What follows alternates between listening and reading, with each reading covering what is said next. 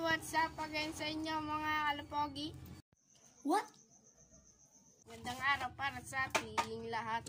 For today's video mga kalapogi is gawa tayo ngayon ng DIY whistle. Ang gamit natin ngayon na yung mga kalapogi is ballpen, stick glue, at kitsilyo mga kalapogi.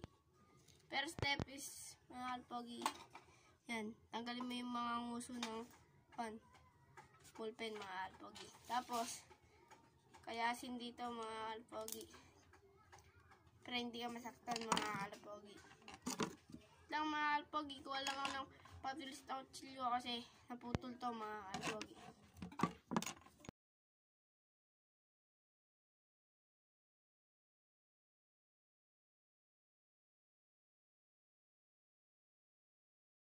Yung mga alpogi, nakakuha na ako ng tools na kutsilyo. Oh, mga alpogi, ready na ako magpatayan. Joke lang. Mga alpogi, gantuin lang yan.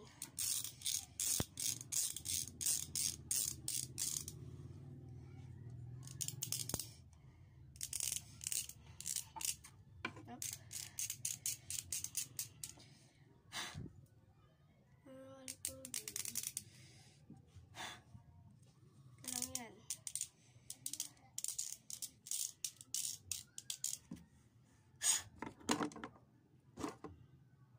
Kayas-kayas lang. Mga kalapogi.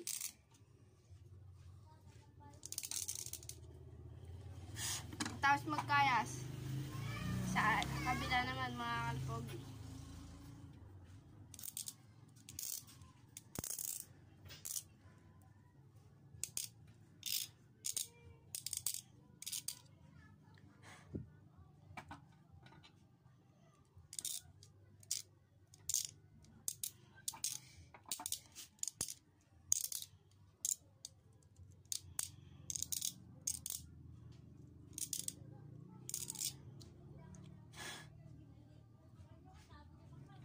Gagawa kayo ng mga ganito mga alpogi, magpatulong kayo sa mga nakakatanda niyong kuya, gayon, mga alpogi.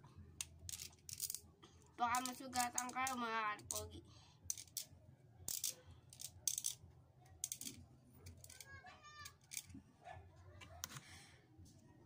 Hmm,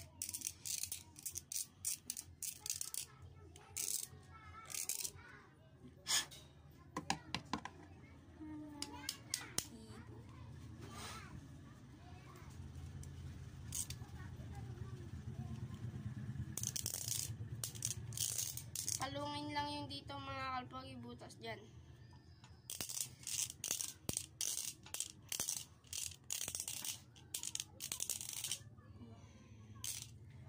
Pagtapos paluwangin mga kalpogi is hatiin dito mga kalpogi. Wait lang, kuha lang ako ng pagpatungan. Ito mga kalpogi. Kuha lang ako.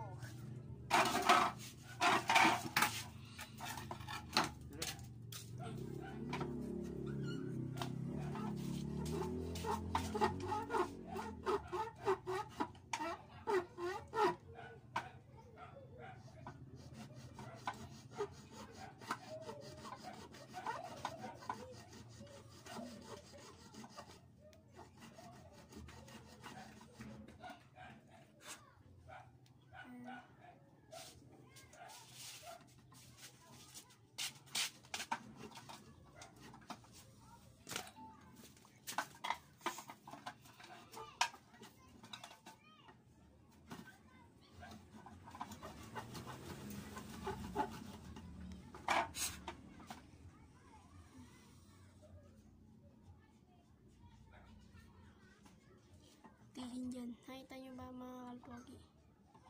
Ito kasi maliwanag dito eh. Nag, ayaw mag-focus ng camera ko.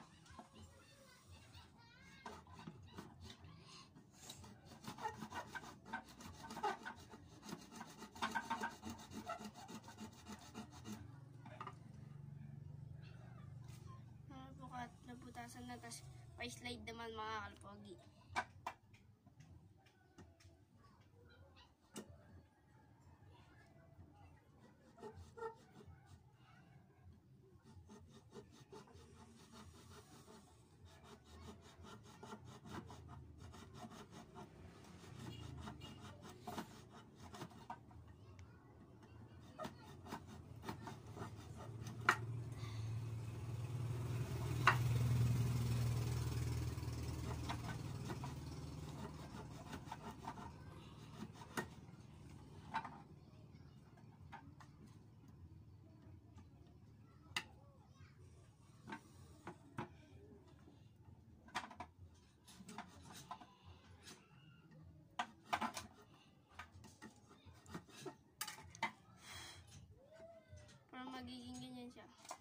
Open yun, oh.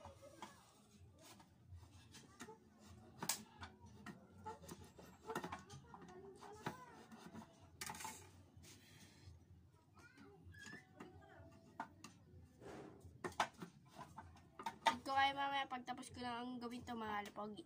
Yung mga kalapogi, hindi na ballpen ang ginamit natin mga kalapogi. Ang ginamit na natin ay tena mga kalapogi. Oh, ayun, mga kalapogi. Tapos ko lang gawin mga kalapogi, tara try natin.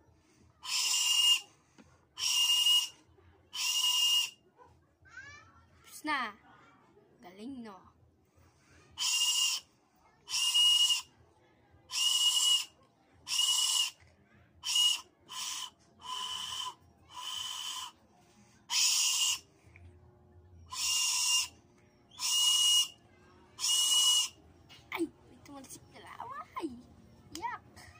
Get!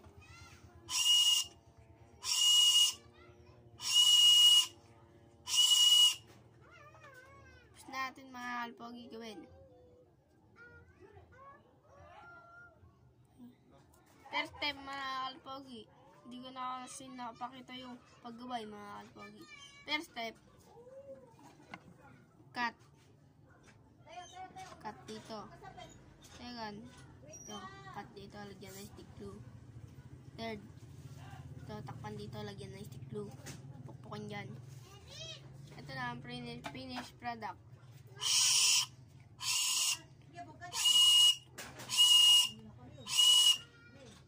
Mga alpogi. Yun muna para sa ating araw mga alpogi. Hindi na kalimutan mag-subscribe. Nanik the bell button para lagi kayong updated sa ilalabas, ilalabas kong video mga alpogi. Hindi rin kalimutan mag-like, share, and comment na rin po mga alpogi. Keep safe. Goodbye.